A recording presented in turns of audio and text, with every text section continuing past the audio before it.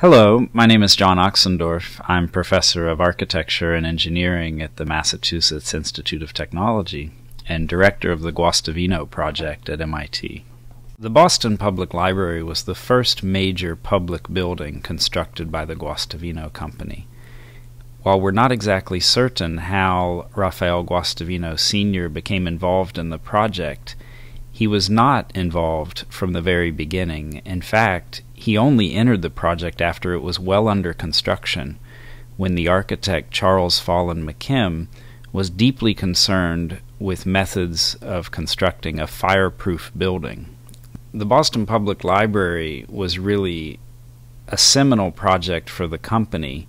He used it to advertise his system, and as you walk through the library, you can see seven different types of Guastavino vaulting so that as future clients and architects came to admire the new building, they could see what Guastavino was able to do. It's important to note that Charles McKim, the architect, left a lot of discretion to Guastavino. He gave Guastavino the freedom to develop the geometry of the ceilings because the geometry was inherent to the construction method as well as the structural system. And so this was a period in American history, this was a period in architectural history when there were very few drawings for projects, and craftsmen were trusted to carry out the work in a professional and elegant way. The Boston Public Library was the first major project where Guastavino decided to leave the bricks exposed in the ceiling, and that went on to influence many of his other projects. He went on to do more than 40 major buildings with the firm McKim, Mead and White, and it was really this project that led to hundreds of others around the country.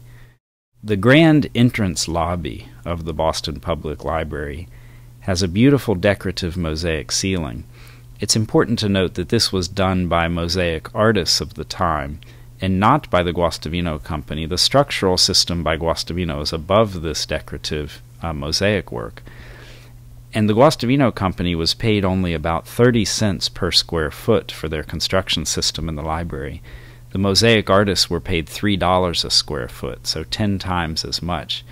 Uh, but at the time, the Guastavino method was among the most economical and durable solutions available to architects and builders, which was why it was used in hundreds of buildings in this time period.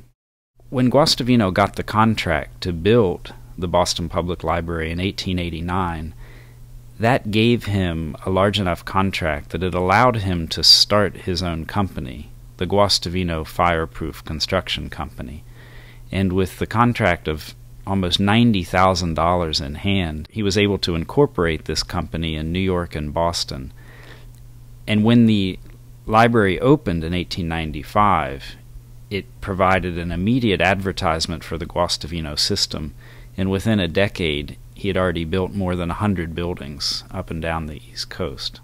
So once this project really uh, got his foot in the door, it allowed Guastavino to access leading architects of the day and to introduce his system into major buildings around the United States.